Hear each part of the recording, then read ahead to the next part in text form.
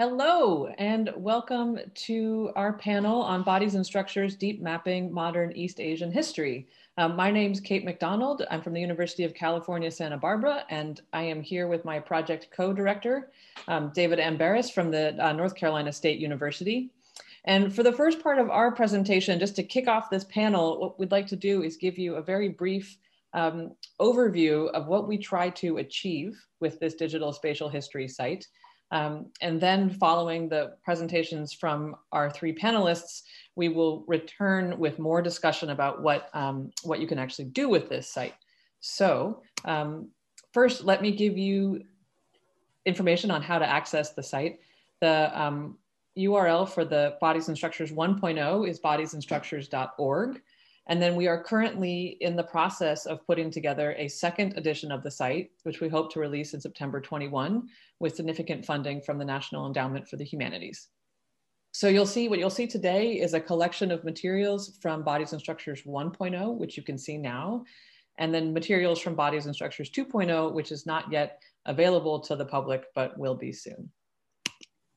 So what is Bodies and Structures?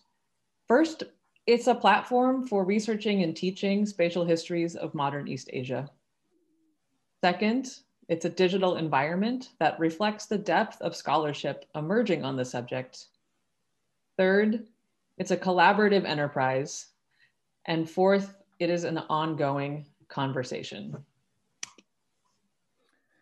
So the key questions that we ask in our project are how we can analyze and visualize space and place as processes and products, not as an empty expanse of absolute space or a neutral container of human and non-human action. Um, and we want to consider what ways we can express spatial relationships other than through the so-called God's eye view of the cartographic uh, map. How can we analyze and represent the multivocality of space? Here we take inspiration in particular from Doreen Massey's formulation that space is a simultaneity of stories so far. And so we want to think about how the digital environment enables us to engage with that kind of thought process. And through that, we want to think about um, how all of this can help us to create new knowledge about humanity's pasts. So today, uh, we're going to have presentations from three of our team members Sakura Christmas, Maren Ehlers, and Peter Thilly. Each of them is contributing a module to version 2.0 of Bodies and Structures. These modules are currently under construction. They will be uh, presenting in separate videos. And after um, you've watched their videos, please come back and join us as we talk more about Scalar and the analytical tools that Bodies and Structures offers.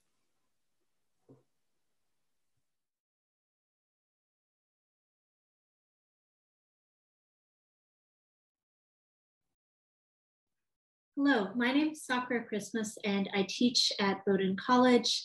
Uh, this is my presentation on my Bodies and Structures module, Imperial Japan Up in the Air. Now, this module examines how the aerial perspective, as made possible by aviation, helped Japanese occupiers imagine the Eurasian continent in its uh, supposed geographical vastness. Um, and yet, the module also explains how uh, ter uh, terrestrial limitations ultimately failed to sustain uh, control uh, over this particular space. Uh, so for uh, Imperial Japan, the Manchuria Aviation Company, the Manshukoku Koku Kabushiki Kaisha, founded in 1932, would become the predominant presence over Inner Asia during the wartime era, and this is the focus of this particular module. Now, uh, the advent of aviation in the early 20th century opened up an uncertain and contingent space of the Japanese empire. Um, it allowed for uh, friction between various borders that didn't really align so neatly between land, sea, and the air. And this is what I'm most interested in here. And this new form of transportation superseded earlier networks of ships and rail, and it extended the Japanese empire westward uh, from Manchukuo uh, in 1931 uh, into Inner Mongolia and then uh, beyond the uh, for, uh, formal reaches of its control.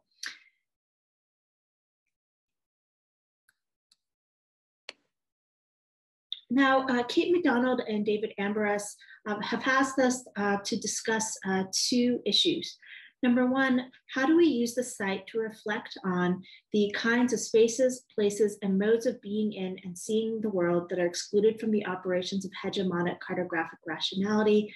This is what I'll explain now. Uh, and then number two, how uh, did the collaborative process of module development um, helped us uh, to write multivocal spatial histories? And this is what I'll explain uh, at the end of my presentation. Now, um, within this particular module, uh, I am interested in uh, four uh, potential um, uh, avenues of um, uh, new uh, spatial uh, perspectives. And so uh, the first one has to do with how aviation technology superseded railroad imperialism. Uh, this is a particular uh, problem um, that uh, the scholarship on Inner Asia focuses on. It dates back to Owen Lattimore, who was writing in the 1930s, uh, who argued that the railroads um, fundamentally broke and transfigured the relationship between nomadic and sedentary societies, um, and it ultimately led to the downfall of uh, the Mongols. Now, of course, in this particular module, um, the uh, airlines are another level beyond that. Uh, and what's really particularly interesting is the ways in which uh, Japanese spatially conceived of um, airplanes themselves as new kinds of nomads uh, in Inner Asia. Um, now, uh, the second um, uh, issue that I'm interested in, of course, is the ability to challenge territorially based uh, borders within the Japanese empire the um, airplanes um, actually go beyond what has been formally uh, negotiated uh, between uh, various powers.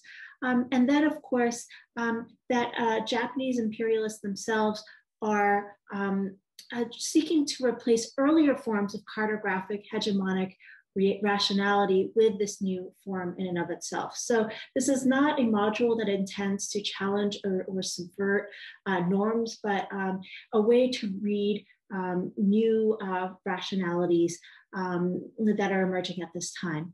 Uh, and then last but not least, I'm interested in revealing the shortcomings of this new rationality by focusing on the process in which that they were constructed. Now, uh, between the modules, um, there are also new spaces uh, being opened up. Uh, first and foremost, uh, this module emphasizes the importance of spatial imagination, and in that it is in conversation with, uh, say, for example, uh, Noriko Aso's uh, module on Mitsukoshi. Um, it is also interested in linking together similar media produced at different scales. Uh, so on the one hand, we have the intimate family photographs um, by Emily Chapman. On the other hand, we have the uh, distant, um, putatively uh, objective renderings of aerial photography in this particular module. Um, third, the um, uh, this module questions this portrayal of a reality as only spectacularly destructive, um, which of course is seen in the kind of warfare uh, that we see uh, with uh, Michitake Aso's module or David Fedman's module, um, who uh, look at um, colonial Vietnam and then subsequently the Tokyo air raids. Uh, aerial moder modernity represented more than just that spectacular violence. There is slow epistemic violence to consider here too. And last but not least, um, I contrast my perspective on nomadic practice uh, with the one put forth uh, by Shellen Wu, who is uh, interested in uh, Chinese uh, attempts at settler colonialism to assimilate uh, Mongols into the Republican nation state. Now, the contents um, of this module can be um, ordered in any fashion, uh, but I am going to go through it in the order um, in which it's presented in the module, but users can click through any one of them. The first one um, is a perspective made possible by spatial imaginaries, um, which are basically unlimited by the constraints of physics. Uh, the second one one is the perspective made possible by planar or two-dimensional space. Um, and so here, uh, this perspective concerns the expansion of aerial routes and conflicts with territorial boundaries. Um, and finally, the third is the perspective made possible by volumetric or three-dimensional space. So this is the view from above and what that allows for in terms of the creation of um, aerial photographs so this first perspective about the spatial imaginary, I explore that through uh, the reading of uh, Man Air magazine, which is the Manchuria Aviation Company's um, corporate um, publication. Uh, so here we have different covers uh, demonstrating um, some of the major themes um, that um, I've found. These are not tied to chronology, but more about the imaginative spaces that exist over the course of the 1930s. Uh, they draw out some of these major topics.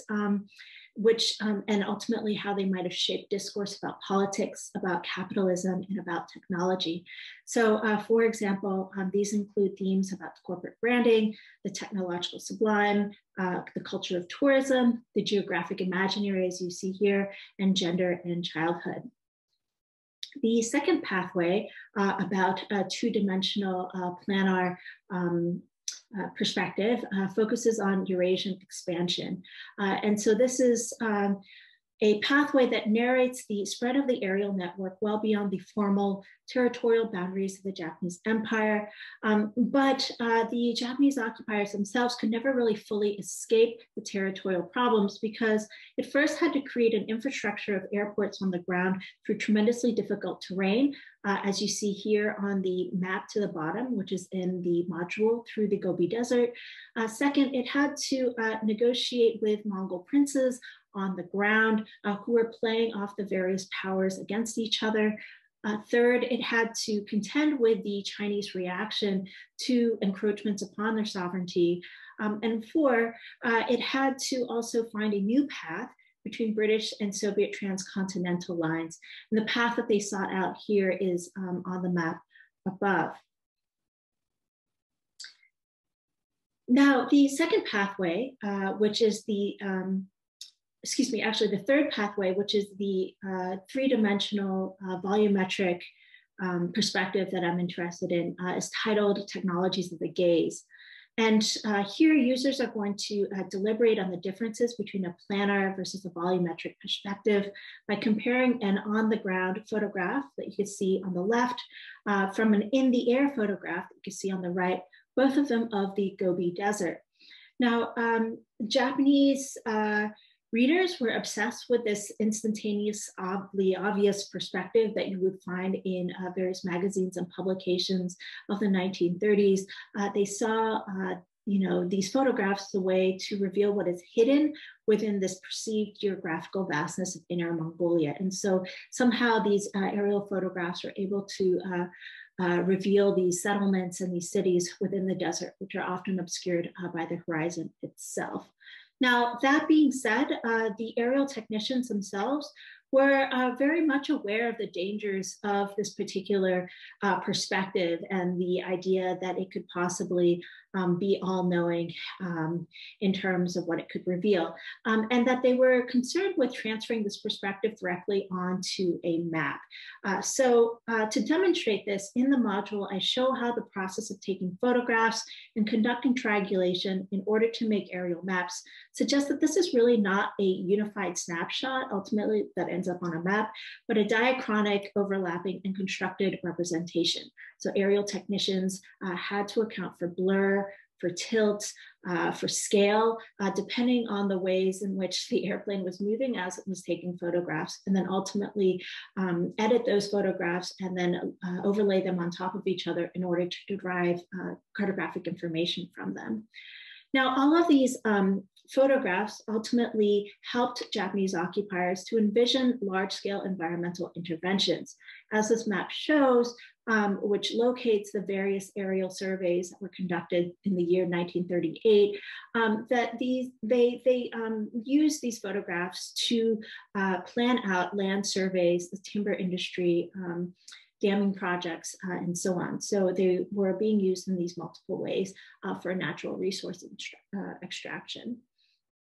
So last but not least, uh, returning to uh, the prompt um, the second part, um, how does um, uh, the collaborative process of module development, how does it help us write these multivocal spatial histories? Uh, to give you a sense of um, how this process worked for me, Uh, first and foremost, the Bodies and Structures uh, Generation 1.0 um, served as a major source of inspiration in terms of what was the realm of possibilities for this particular module. Um, this was a very unfamiliar program to most, if not all of us in this particular generation of 2.0, and to be able to uh, see what was um, available to us in terms of the tools um, really helped um, us conceive of what uh, our modules could look like. Um, the second is, of, of course, over the, the, the, developmental period of the modules themselves, we each had multiple team meetings to draw common themes, uh, beginning with uh, discussing assigned readings on spatial history, and then having uh, multiple talks about um, the ways in which you might link various scalar pages between modules, uh, especially since our modules at first glance might not seem necessarily um, uh, connected to each other.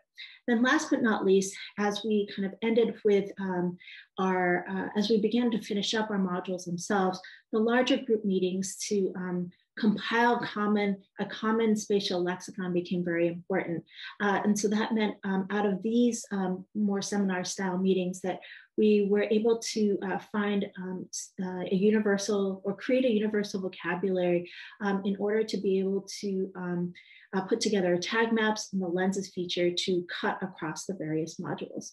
Um, all in all, we ended up writing, um, or we could write completely different spatial histories at different scales um, by focusing on a particular place, um, in this case, Inner Mongolia, or a particular medium uh, like photography, or a particular technology here, uh, aviation, um, and see uh, how that they, you know, worked in different parts of, of um, East Asia, uh, both from the early modern and into the modern period, um, and then ultimately uh, create these different perspectives.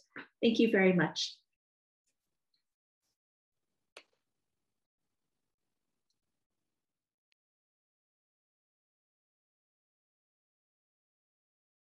module looks at smallpox vaccinations in Japan in the 1850s that is, before the Meiji Restoration of 1868. So, this is a module about a pre modern society grappling with the problem of public health. I am not a historian of medicine and have approached this topic more from an interest in the social order of Tokugawa Japan, but it turns out the world of microbes can shed a lot of light onto human social relations. The vaccinia virus, which constituted the smallpox vaccine, didn't care about social constructs. Yet it depended on humans to move through time and space.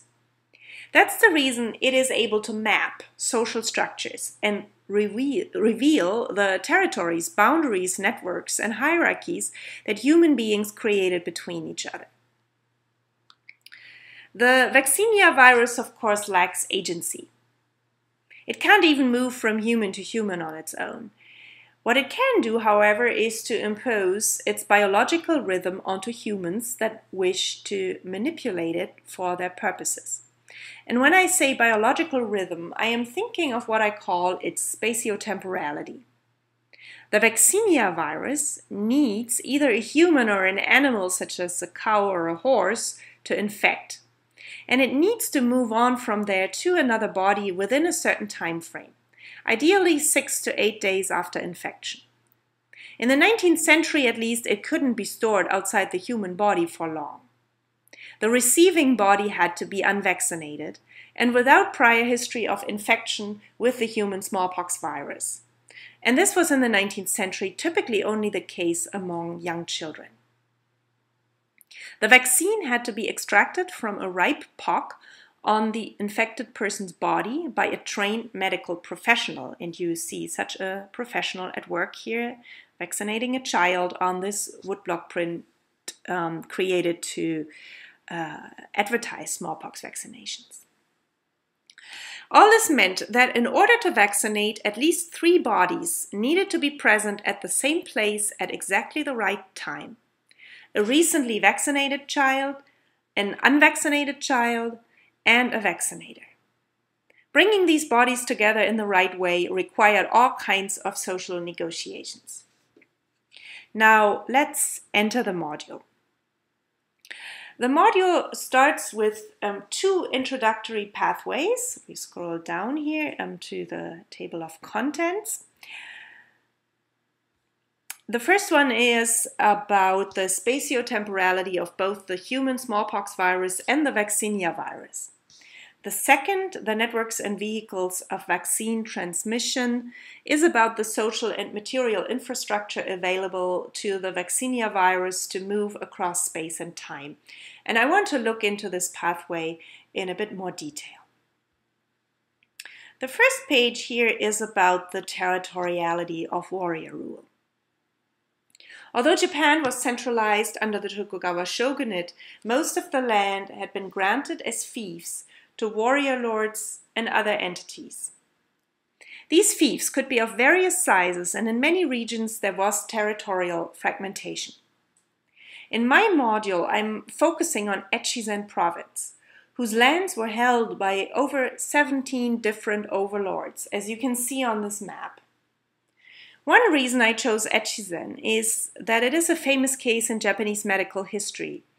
A physician from Fukui domain, this domain here, named Kasahara Ryosaku, was one of the earliest vaccinators in Japan and is something of a legend today, although there is still a lot of research to be done even on him. A detailed political map like this one is quite useful, but it is also reductive. I'm not just thinking of the physical geography here that is obviously missing, but also of other territorialities and hierarchies that can't easily be displayed in two-dimensional cartography. First, there were the hierarchies and networks of fief holders. For example, some lords in Echizen were higher ranking than others, some were related to each other, and there were also sub-fiefs and some villages were enfeoffed to two or more different overlords. So the patches of land we see here were not all equivalent in nature. Second, the political map leaves out crucial information about how government worked in the Tokugawa period. Fief holders collected tax revenue and discharged some basic governmental functions, but they didn't bother with most details of day-to-day -day administration. These would be performed by local subjects, organized in village communities, town neighborhoods, as well as many kinds of other occupational associations. The so-called status groups. Many of these groups maintained territories and these didn't always overlap with the territories of samurai rule. So to understand the introduction of a completely new governmental function, such as smallpox vaccination, we need to look at overlapping territorialities and the interaction between social groups and networks that maintained territories. The next page on this pathway looks at physicians' social bodies and networks in Tokugawa, Japan. Physicians had occupation based status groups on the local level, but they also maintained regional and even countrywide networks, and such networks became crucial for importing, spreading, and perpetuating smallpox vaccinations. Previous scholarship has emphasized the role of physicians' networks in spreading the vaccine within Japan, but there isn't that much research yet on the issue of perpetuation over time.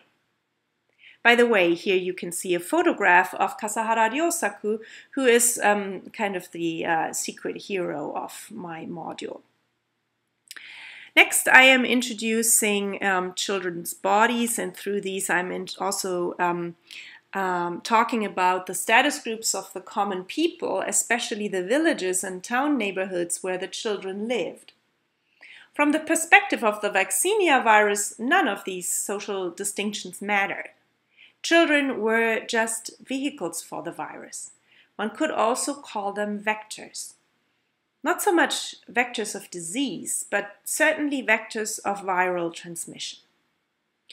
On the next page, I am introducing some non-human vehicles that were used to bring the vaccine to Echizen.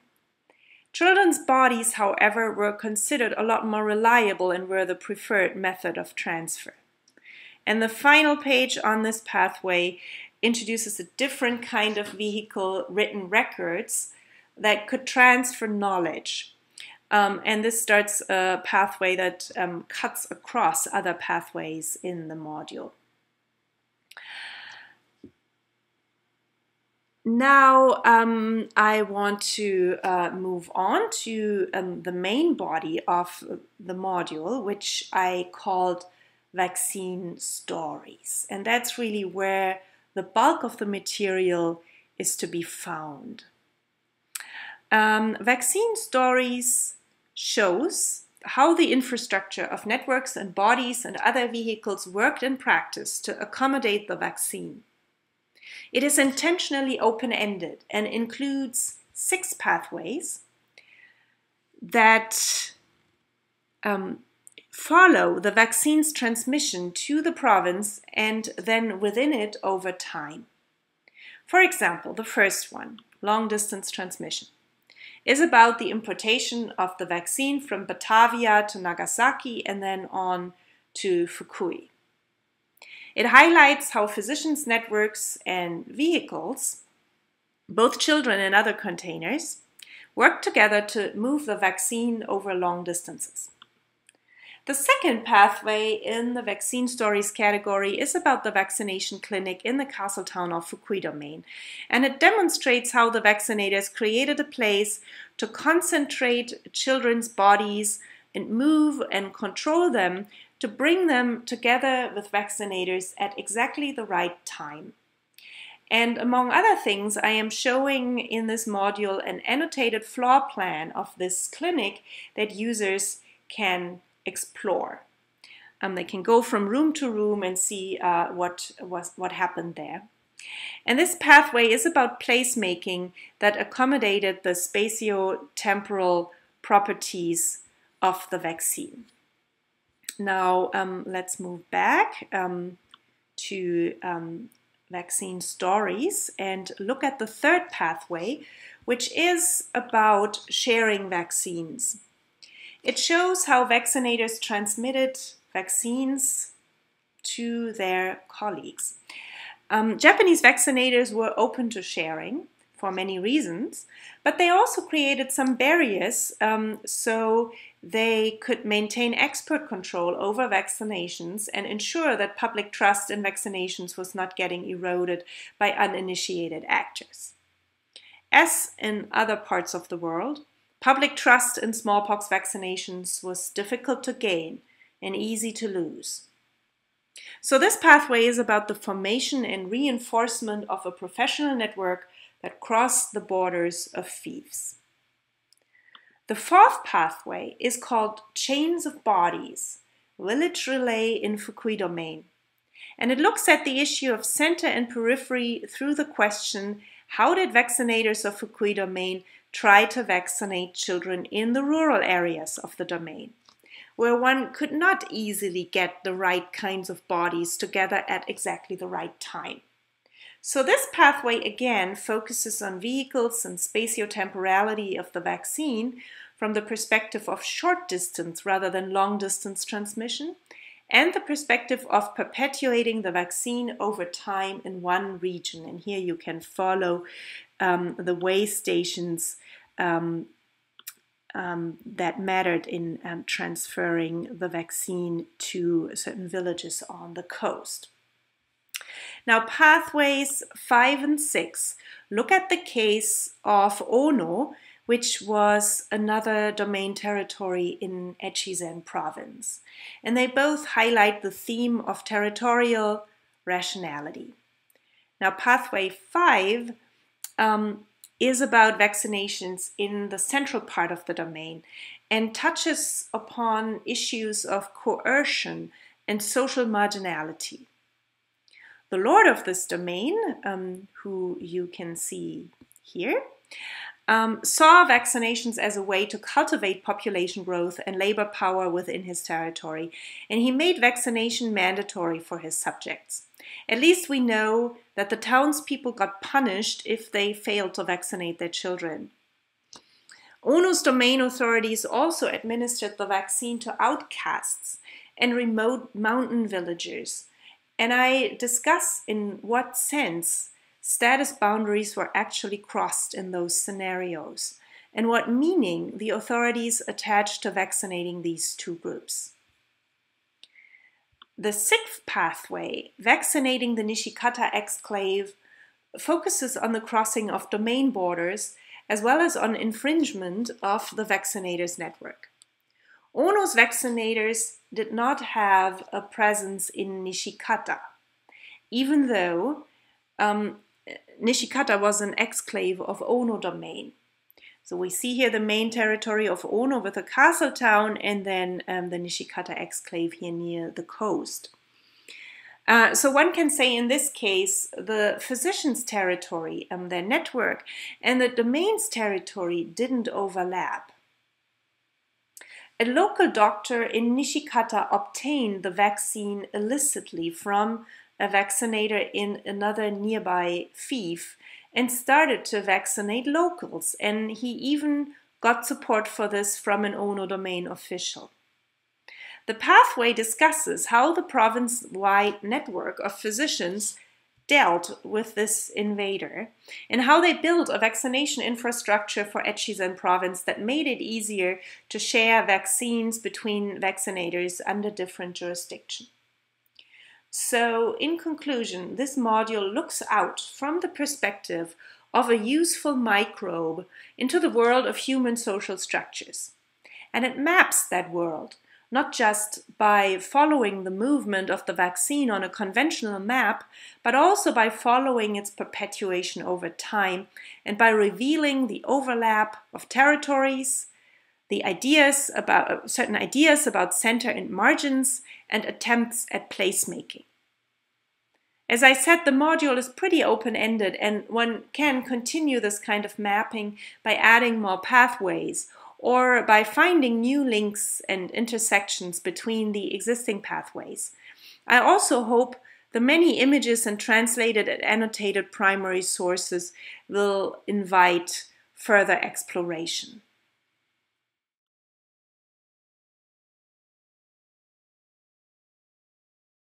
What I did here, this module, um, is about the opium trade in the years leading up to the Opium War of 1839 1842. And, and it's a multi-archival analysis of the buying and selling of opium along the littoral of southern Fujian province. Just uh, up the coast from Guangzhou or Canton, the, the only legal port in the, in, in the years before 1843 for, for British commerce in China and the epicenter of the illegal opium smuggling trade. Now, opium in the 1830s for some context, was experiencing a global boom. The drug had take, taken root in Southeast Asia and East Asian markets over the course of the 18th century, passed through the diaspora back up to China on boats, uh, you know, up rivers, over mountains, into villages and cities across the Qing Empire, together with the even more popular tobacco smoking habit. Then in the 1820s, Fierce new competition on the production end of the opium business inspired the British East India Company to redouble their opium cultivation efforts in Bengal. Each year, British and Parsi, American, and Chinese shippers carried more and more chests of opium to China, each chest carrying around 60 balls of the raw drug ready to be boiled down into thousands of doses.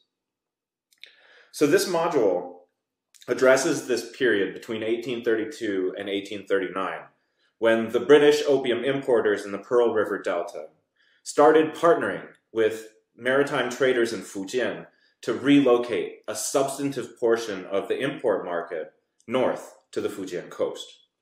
And my research demonstrates that I, roughly around 60% or so of the opium that came to China from India during these years, during the mid and late 1830s, uh, was sold to Chinese buyers from the receiving ships in Fujian. Uh, receiving ships being these stationary British ships that kind of operated as opium and silver warehouses. In, in investigating the history of the people responsible for this trade, the animating questions, the questions I ask of these sources, the animating kind of reason behind a lot of these maps, which I'll get into later, is, is how how do people make money by buying and selling opium? And the answer to that question and, and, and, I have more interesting slides later. This is sort of a preamble, apologies. The answer to that question, as, as I currently stand, is a sort of a split between what we might consider, like, uh, for lack of a better word, normal capitalism, and, and then a different sort of considerations that we might consider criminality. Right? The, to the first point, opium is and should be, but hasn't been, um, comparable to other stuff, right? Comparable to cotton or, or, or tea or sugar, right? These globally circulated agricultural items that have histories of capitalism, right? We don't have that for opium. Sort of interesting because it seems like it's, it's, it's so hard to compare to other stuff, right? But it was there with other stuff, right? It was in the same boats, it was in the same banks, the same people trading. So, so why shouldn't we, right, embed opium within its immediate economic context?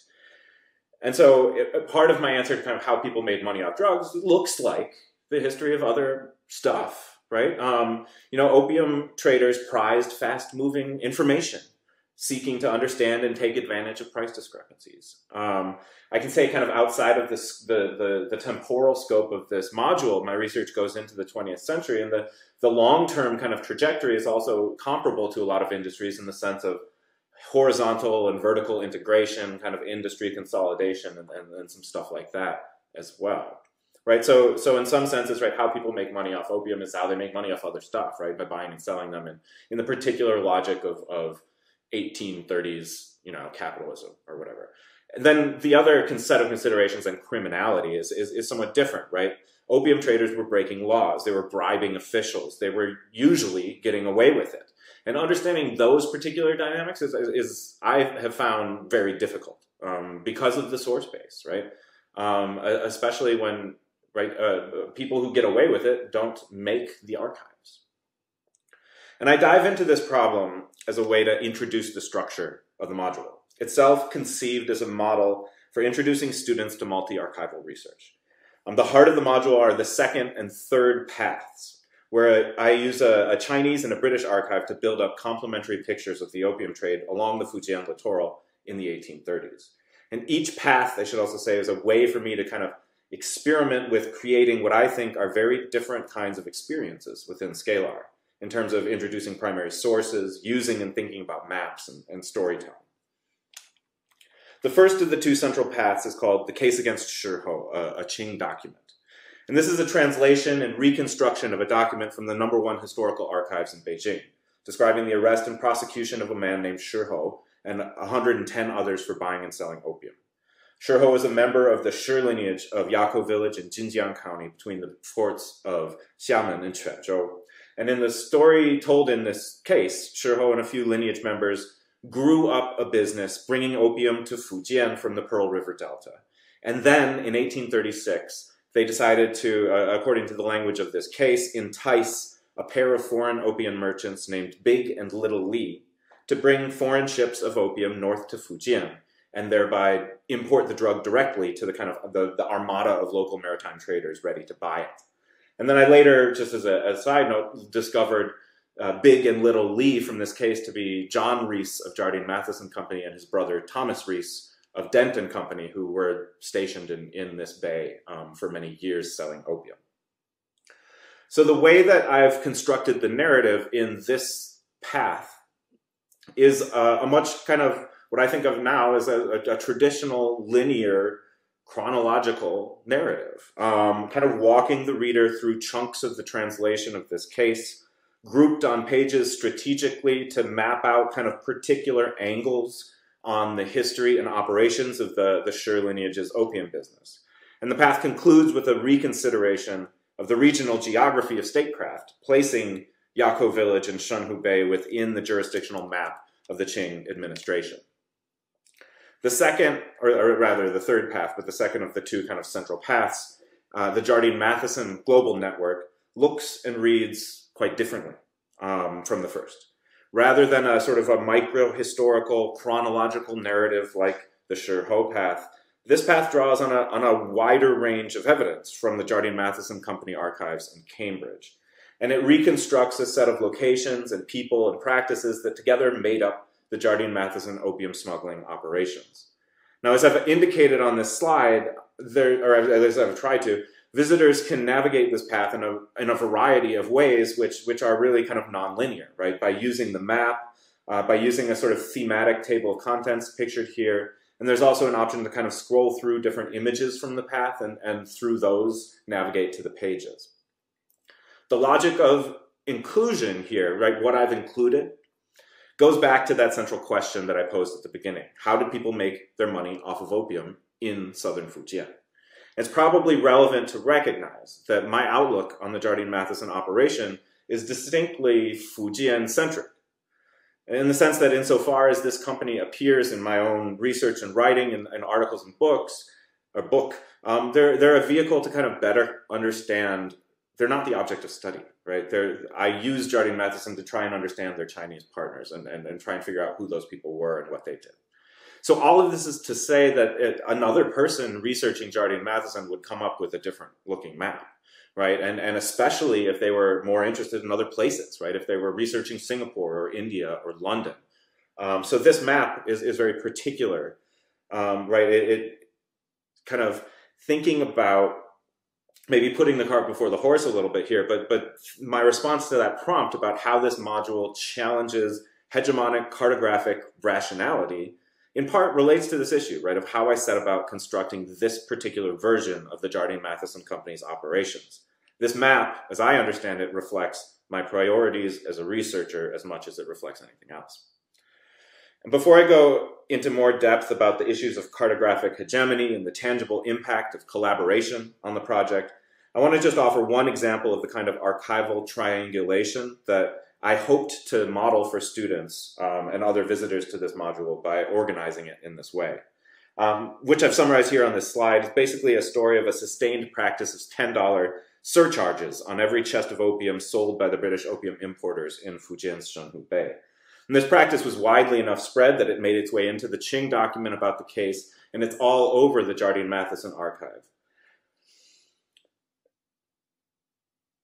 The Jardine Matheson records have sort of proved, I think, in a lot of ways that this was money that was going to the state in some way. And, and my thinking about this has evolved. You know, I'm, I'm sort of I'm questioning the utility of the term corruption here because I do think there's a longer history within uh, kind of historiography on Chinese maritime trade of these sort of informal surcharges on items and things like that. And I think um, I think this practice is, is, has has roots in um, kind of um, local traditions of uh, market regulation and stuff like that that um, that I maybe could do a better job elucidating. But but my point in bringing it up here is is is that it's um, it's a clear point where the archives disagree about something, right? And I think that's useful um, for students and readers.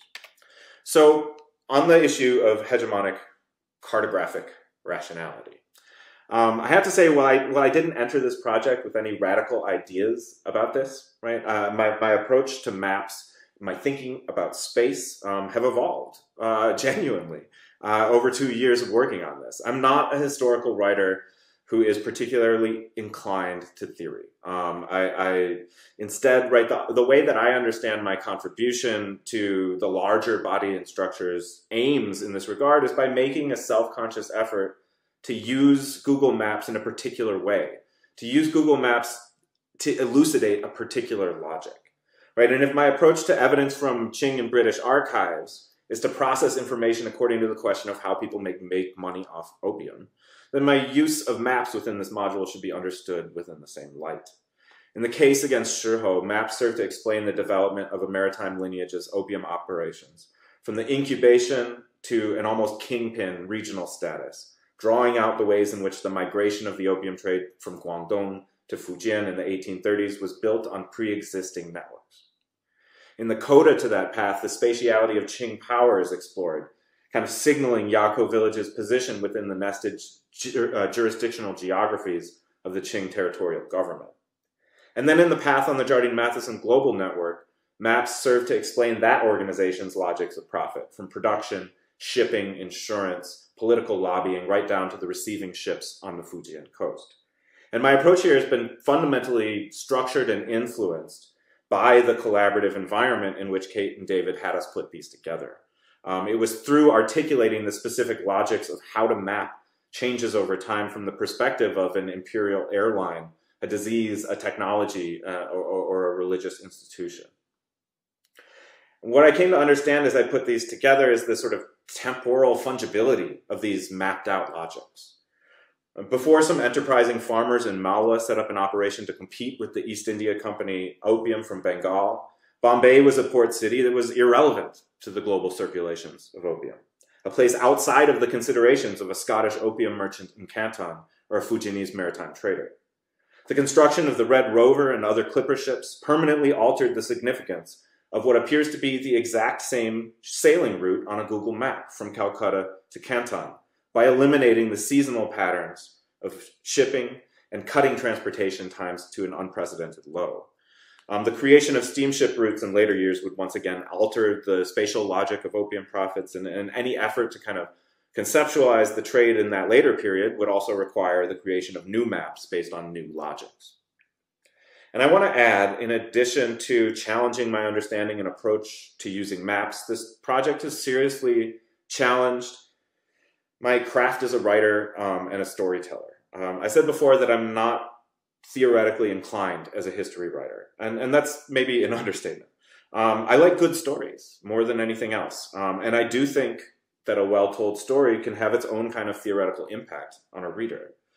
Um, the Jardine Matheson Global Network path in this project completely upended my sensibilities about how to write, um, how to convey an argument, um, how to tell a story.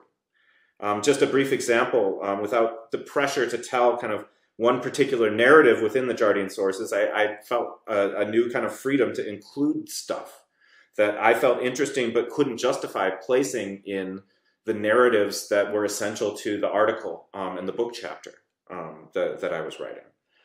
And here, kind of more than anywhere else, is really where I felt the tangible value of collaboration. Um, and a clear example of that is the, the, the page I wrote on experts, um, which I only conceived of as a result of one of our group conversations, which I think is a really valuable page in the module. So I don't have a, a ton to add here.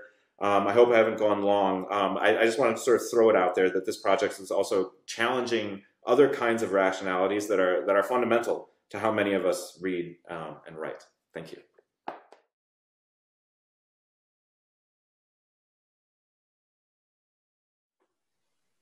Okay, we're back. Thanks so much for um, watching the presentations of our three module builders. And now David and I would like to take um, 10 to 15 minutes or so to talk a little bit about um, what we can do with this site. So how does bodies and structures represent the multivocality of space? And, and I phrase this in my most academic language, so what? Well, before we can, um, or as we get into the kind of so what and the how we do this, um, there are some fundamental features of the platform that we use that it helps to understand. So I'm going to start there. Um, the platform that we built bodies and structures on is called Scalar. It was designed by the Alliance for Networking Visual Culture out of USC, and it's still available via USC. Um, the, one of the key features of Scalar is that the basic unit is a page everything in Scalar is a page with its own unique URL. You can arrange these pages in a lot of different ways. So one of the most straightforward ways of arranging them is in a linear pathway. So you can construct narratives. And I think that our, our module builders showed you um, how they have created pathways to construct narratives in their own modules. You can also create um, nonlinear relationships through tags. So tags are also pages and those pages can tag other pages. So here I've got a set of images, a set of screenshots that show an example of a page from Sakura Christmas's module that is tagged by corporation, which is one of the spatial figures that we've identified and we use as a tag throughout the site. And then you could click on that tag and go to the corporation tag page and see all of the other pages that have been tagged by corporation.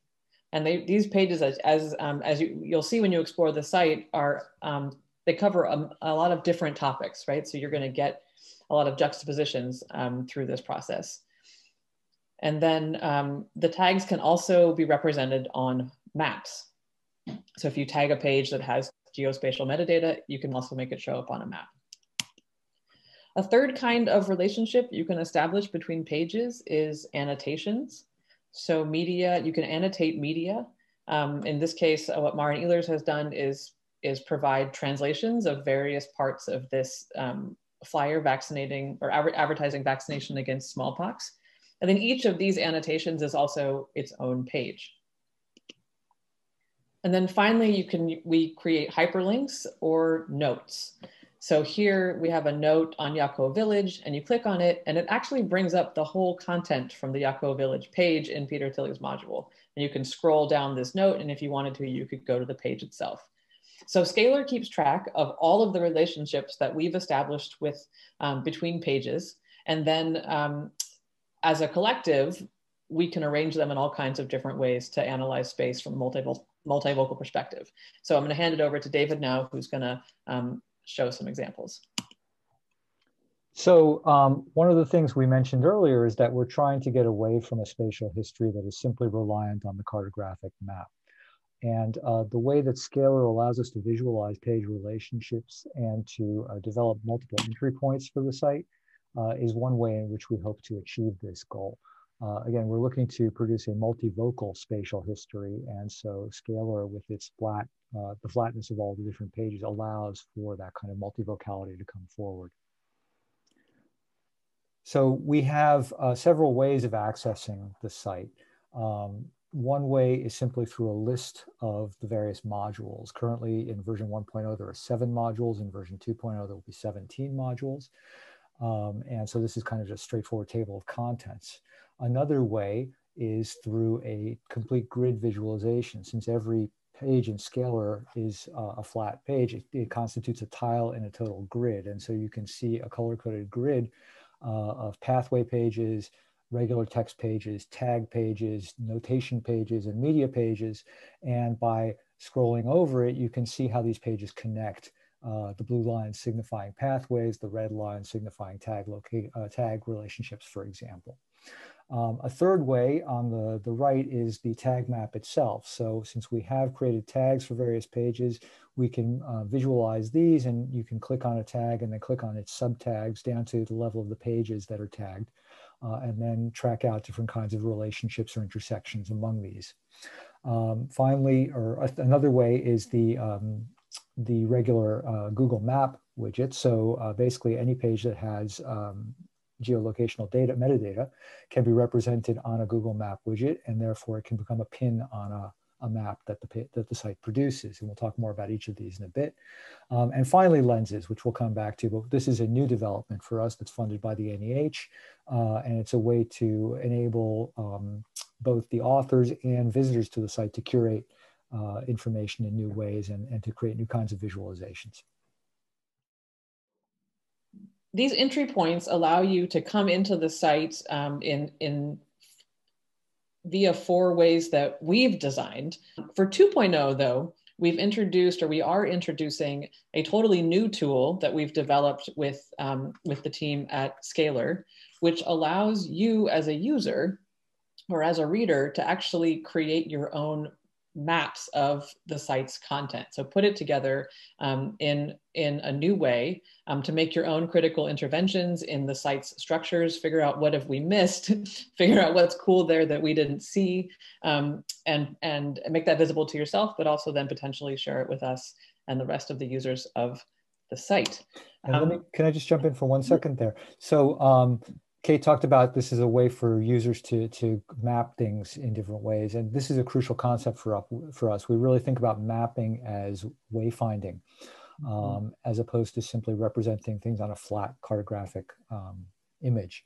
Mm-hmm. And uh, I think this differentiates us from a lot of sites that are GIS oriented. Um, and so it's this is kind of a more phenomenological approach for people to encounter the site and encounter the space and make their way through it and make their own meanings from it, just as we hope people will be able to see how individuals and groups in the past also encountered space and place and made meanings out of it. Yes, exactly. It's like multivocal, but and then also multi-layered. Yeah. Uh, thinking of the site itself as as a place, right? Um, so so one of the ways here's a here's a very um, straightforward example of of one thing you could do with lenses. Um, so lenses allows you to combine the site's content in new ways and and then to visualize it. Or I should say create a slice of content and visualize it. So here what we've done is we've used the word cloud visualization um, and we've visualized the words that are on the pages that make up Sakura Christmas's module, um, Imperial Japan Up in the Air. And then we've combined that with the pages that make up um, uh, Emily Chapman's module, One Family's Photographs, which is about which is about a family album produced in Japan's early post-war period in the 1950s and 1960s. And the reason why we threw together these two these two modules was because they both deal with photography, but in very different ways and in very different contexts. And we wanted to see are some are some of these words, some of the content overlapping. Um, so you can see on this word cloud the kinds of words that come up. Um, what I noticed because I am kind of a transportation nerd was um, that aviation and car are both words that come up when we talk about photography in the 20th century. Um, so cars are not particularly visible when you're when you're thinking about photography in Sakura's module, but they are um, hugely important when when we're talking about photography in Emily's module. And so here's one way that you can kind of see these things together, and they encourage you to to think or to rethink some of the content you may have encountered previously. A second example that we put together um, is an example of what we call reading across places. And this is, this is a concept that we use um, or that we, that we articulated as a way of describing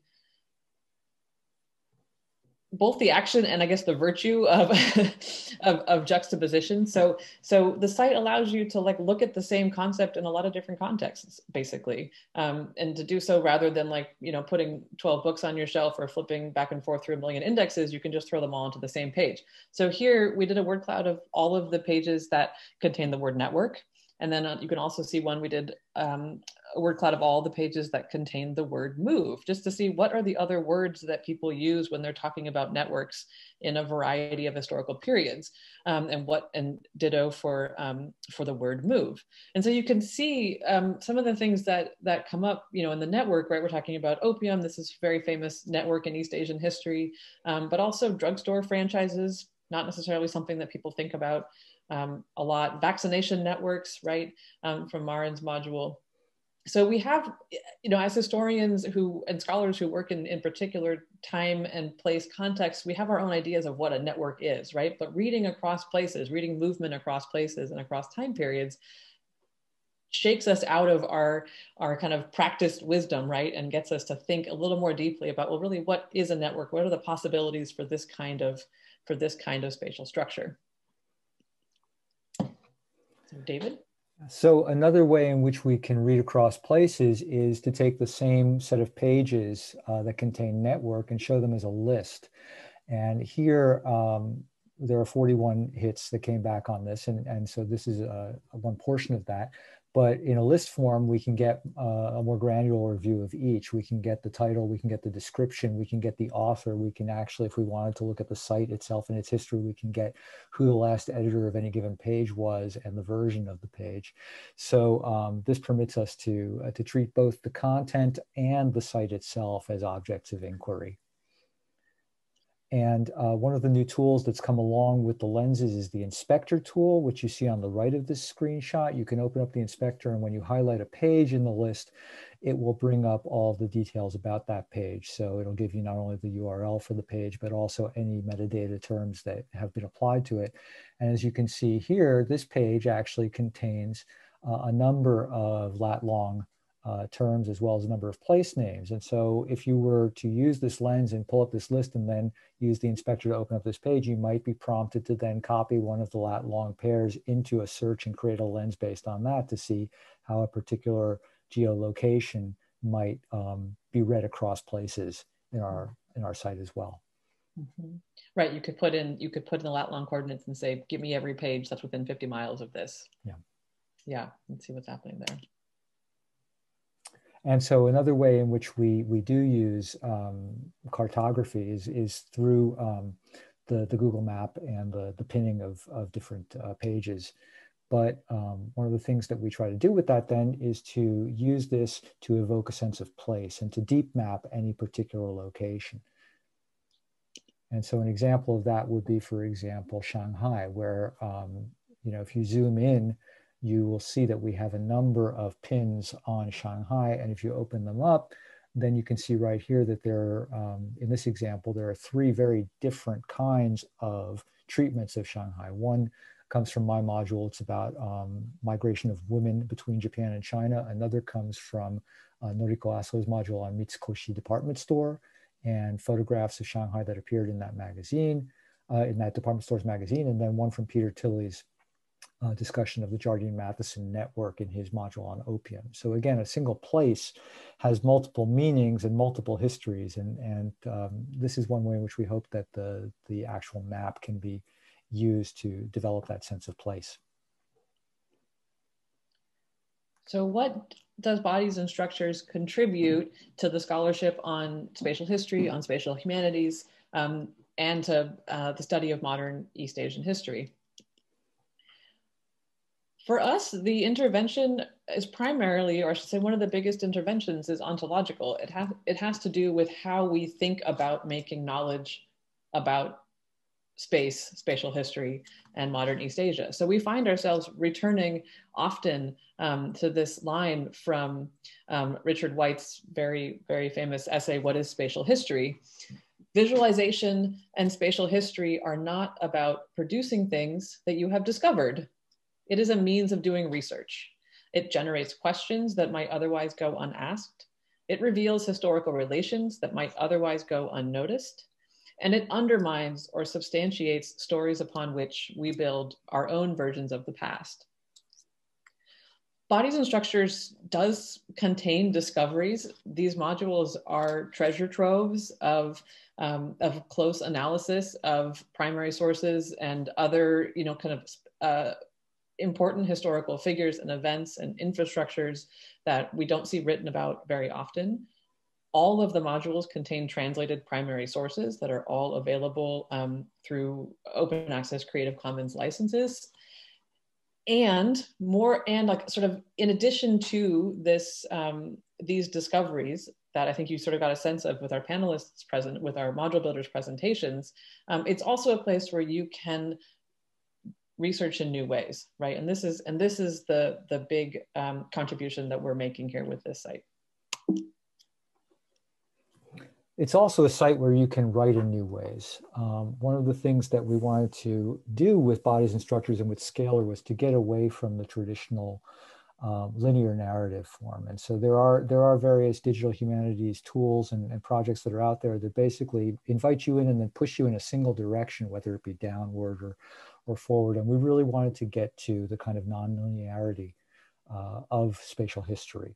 And so um, in addition to the, the tags and the, the notations and the pathways, there are other ways in which we encourage uh, our module builders to think about their projects as not simply a single linear story, but as a space that can branch off in different directions, almost rhizomatically connect to other places. Um, and uh, while that's sort of the, the promise of the site, um, it is also a challenge because um, it has to be managed on the side of the editors. It also has to be managed by the user who visits. And so Paula Curtis, who kindly reviewed our site for uh, reviews in digital humanities, uh, wrote, the at times bewildering complexity of the content of bodies and structures can be a hindrance for non-specialist or novice users, but it is also the point of the project the historical actors never experience space, uh, excuse me, experience space and place in ways that do not always read as straightforward as a typical textbook or monograph might lead us to believe. It suggests that we should consider what diving deeply into these fragments and our own travels through these moments can tell us. Again, um, it's the phenomenological dimension of this that we think has a lot of potential. So please come join our conversation. Um, take a look, if you haven't already, at the 1.0 version of the site, which is available at bodiesandstructures.org. And um, keep your eyes out on Twitter and HNet and elsewhere for the release of Bodies and Structures 2.0, which we anticipate um, um, finalizing in September 2021. Um, and as always, if you have any questions or comments, um, please feel free to write to us at bodiesandstructures at gmail.com. We always want user feedback. Yes. and now we will um, switch over to, to comments from our discussant, John Corrigan, and then a brief roundtable with all the participants. Thank you very much. Thank you.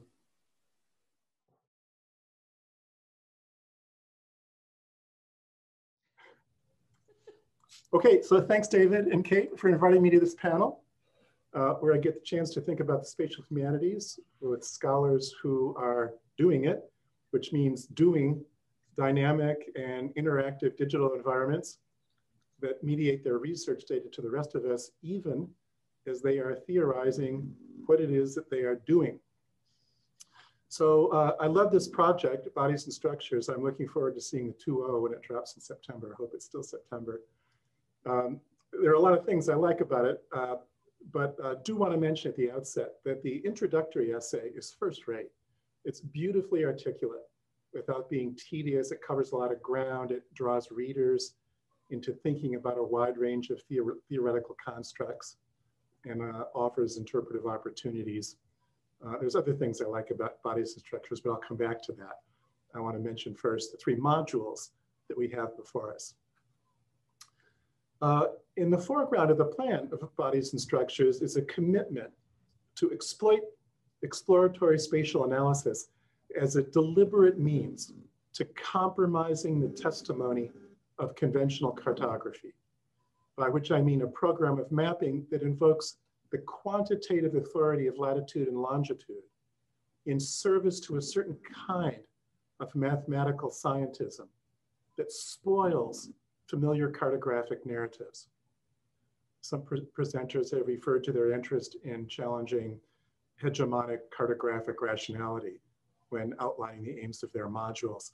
Such rationality is engraved in the images of global, regional, national, local space, whether we mean by that global latitude and longitude generally, or the points, lines, and polygons that are key to Latin law that denominate, for a discourse epitomized by Google Maps, human spaces.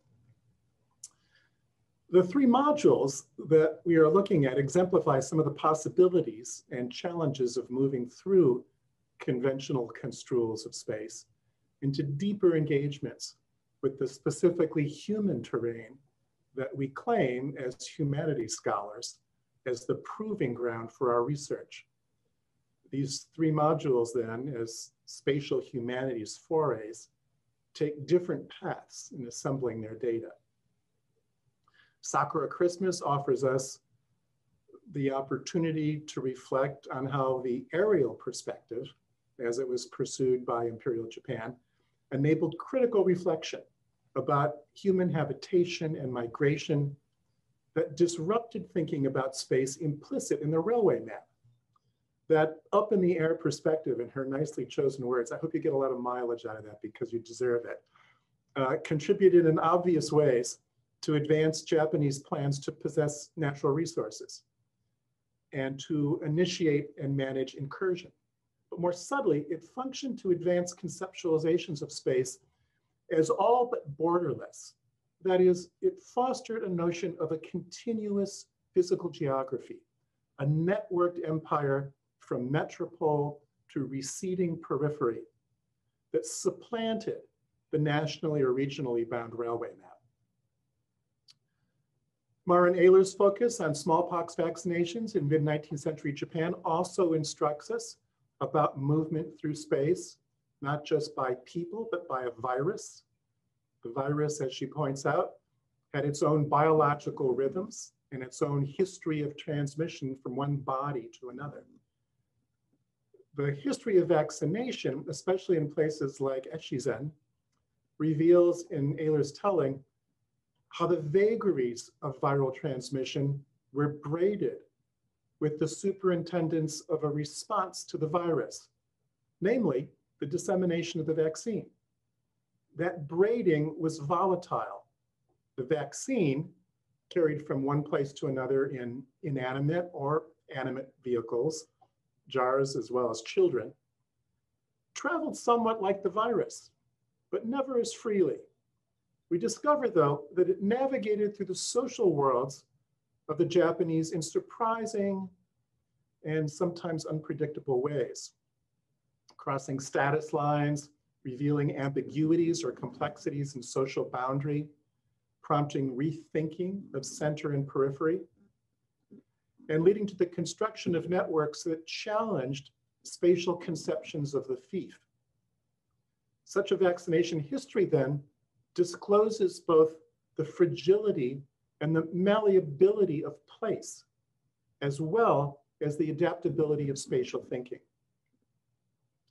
Peter Thilly tells us about the opium trade in China during the 1830s. That includes consideration of the trade routes, which were changing uh, from India to Guangzhou and then onward from there to points north of the Pearl River Delta. Understanding the opium trade also requires recognition of opium as a commodity among other commodities. As far as its marketing and its return on investment, keeping in mind, of course, that the sale of opium was illegal. Thilly points out how market-driven changes in the opium trade themselves changed the map significantly, not only in terms of the long geography, the route from India to China that cut out Bombay, but also the emergence of trade networks in littoral China. The opium trade configured space differently, disregarding previously established social networks and creating new ones with new spatial centers and peripheries and new implications for Chinese nationality and presumably imperialism. In short, the opium trade broached its own spatial logic, grounded in the elements of production, financing, shipment, and distribution of opium. So I'm excited about these projects first because of the way they've leveraged the various creators' historical expertise to spark critical reflection about how people inhabit space. And that includes how people conceptualize space, how they order and reorder it. I also like how these projects have found ways to put human agency and planning in relationship to things. Things which might in the end have their own agency, but in a rather different sense than what we mean when we speak of human agency. The transmission of disease, the behaving of a market, and the view from the air, all in some ways are joined to human activity. We can, after all, wear a mask, some of us, to slow the transmission of a virus. We can intervene to an extent in the machinery of the market. And of course, we invented the airplane. But there is a non-human thingness to all of these three events that helps to establish a viewpoint with regard to space that holds potential for undermining or even subverting familiar thinking about space. Just as some clusters of California counties have become very different spaces after a season of record fires, so does Echizen look different when a smallpox threat leads to the breaching of status boundaries. But one contribution that's especially promising about this research is its collaborative design which informs bodies and structures in several ways. As these scholars note, there's a productive authorial collaboration. Engaging others' work about space affects one's own thinking. More pointedly, it is the fact that the site is engineered in such a way as to foster intersections in research about Japan and the space of the empire. So the interactive tag map, which supplies dynamic visualization of networks among the subject topic tabs. The complete grid visualization, a great interactive engine that likewise discloses linkage, linkages between all of the contents of the modules, including references and media files, as well as tag metadata. And then a geotag map that locates the modules and their topics in a conventional Google map. How does all of that create collaboration that will enhance the likelihood that site users and authors will arrive at new understandings of space? Not just how spatial frontiers changed, how social institutions were more or less involved in spatial thinking, or how technology caused space-time compressions.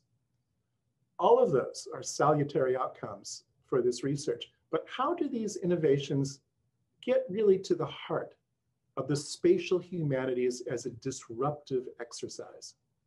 How do they challenge conventional cartographies by enabling perspectives that have been overlooked or deliberately repressed? Specifically, How do they, as potential technologies relevant to the ongoing ethical turn in the humanities, enable multivocality in our representations of space? How do they assist us in properly framing the right questions? Whose space and on what scale?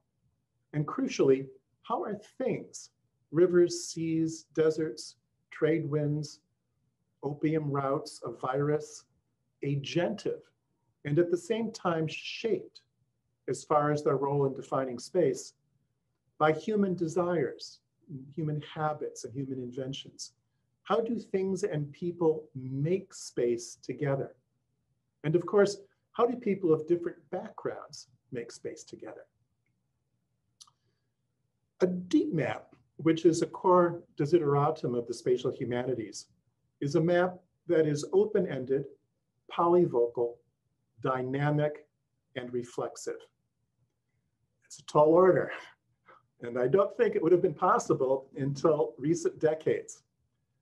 In my collection of books that were the precursors to the rich digital deep maps of today, I'm referring to those books everyone has seen with transparent plastic pages that could be turned progressively as overlays to show an increasingly more complex space.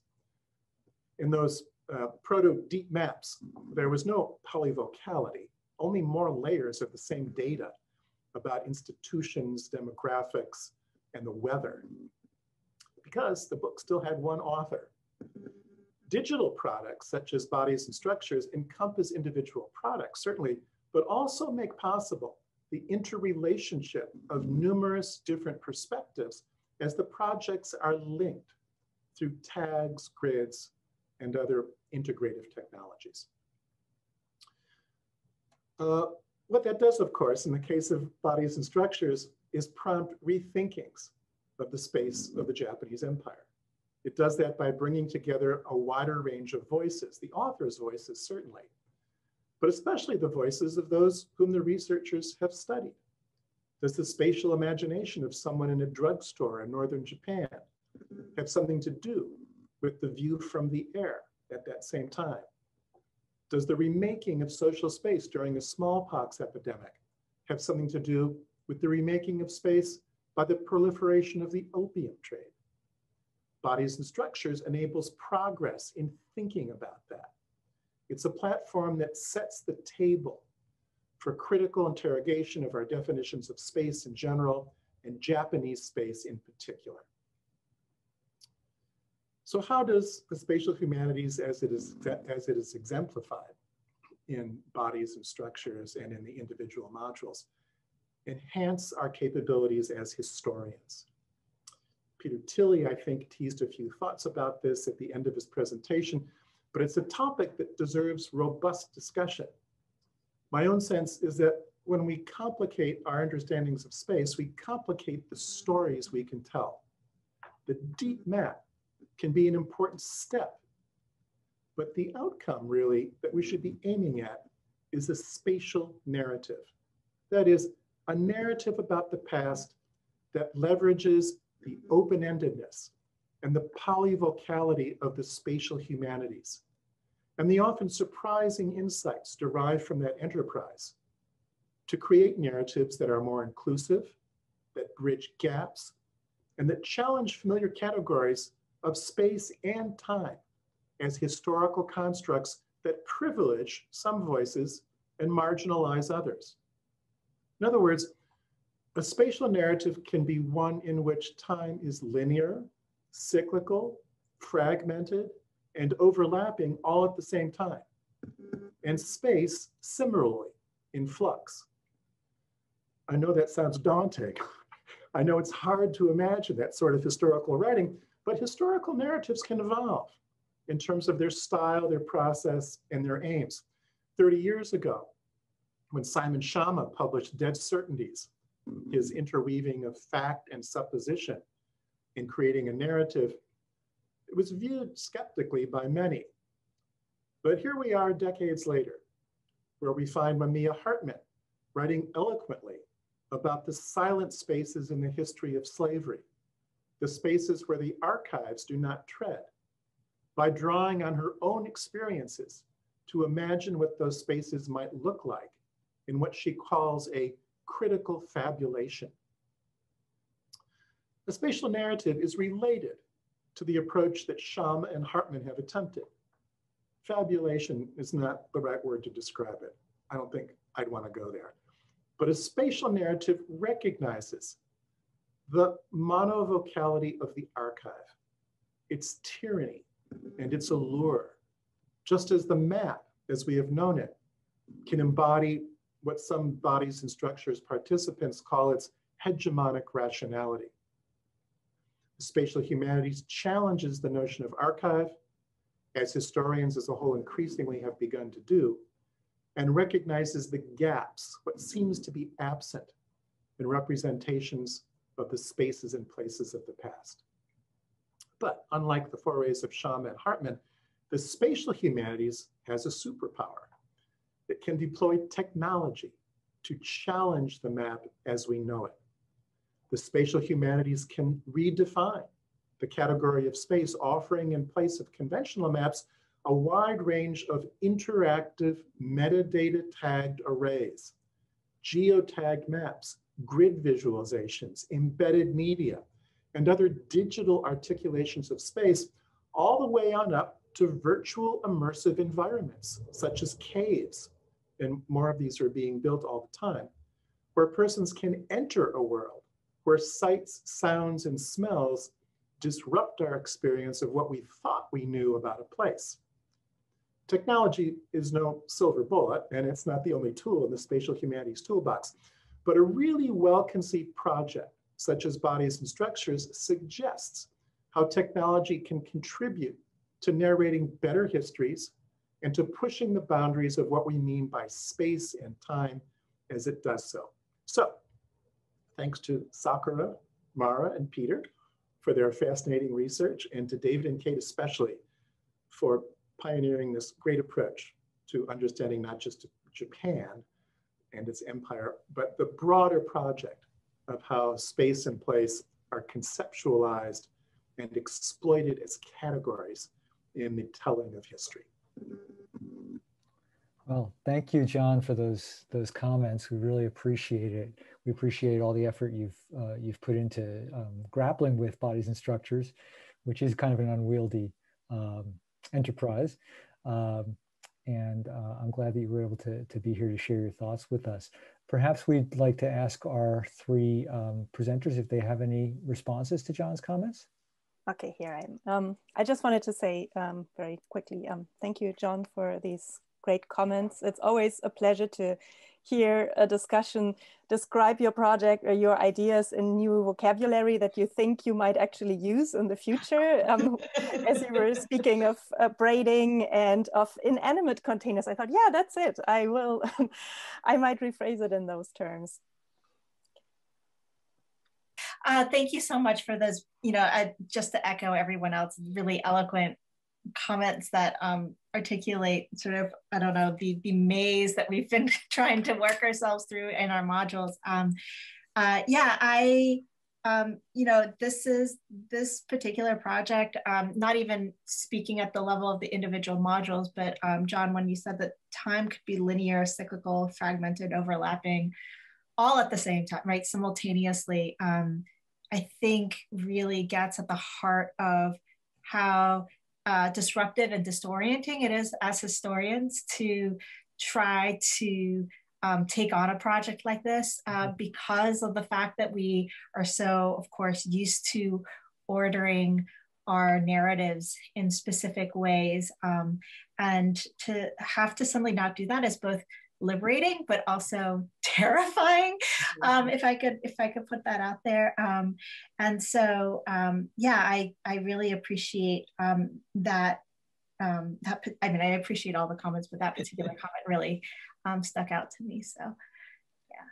That's really i think it's a really important and sometimes overlooked component of what the spatial humanities does is that i mean we're really using a, a kind of approach to space to understand time as well. Mm-hmm. mm-hmm. It's, it's, it's, a, it's, a, great thing for historians, I think, because it, it, gives you something to hold on to mm-hmm. which is the sort of the technological renderings of space that we can um, manipulatively exploit mm-hmm. and try to get to new places and are thinking about space and the people who inhabit it. But by holding on to that, we also get traction, I think, in thinking about time and you know the, the, the way in which time gets compressed or sometimes the way in which it gets lengthened you know? Certainly uh, view from the air is one way of talking about you know time space compression. It's a mm-hmm. beautiful example. Anything from bird's eye view is always great because it intrinsically compresses time as well as space. Mm-hmm. but you know other aspects of this as well you know you can you know um, move away in in, uh, in, in, small steps uh, from just the spatial stuff to start talking about what time means and what is the history, for example, of the movement of a virus around Japan. Mm-hmm. What is it really supposed to do? I think one of the uh, terms that I at least intuited was fundamental to your conversations with scale. And I, I think it's something that historians have you know, been trying to come to terms with a little bit more as so-called global history or what used to be called a kind of comparative regional history or whatever begins to rethink what it is and get some traction again. But um, time is a really important part of that. You know, what I'm talking about when we talk about space and time, but it all leads to scale. You know, mm-hmm. it's the scale of how does how does space look and how does time feel? And these mm-hmm. sort of different global scales or mm-hmm. hugely regional scales, like imperial scale. Yeah. Yeah, I think on the question of time, you know, one of the things I like to ask is where is time, right? Where where is 1926, for example, which was the, the title of a, a book about, you know, the, the attempted in print version to, to try and uh, do some of the things that we're doing.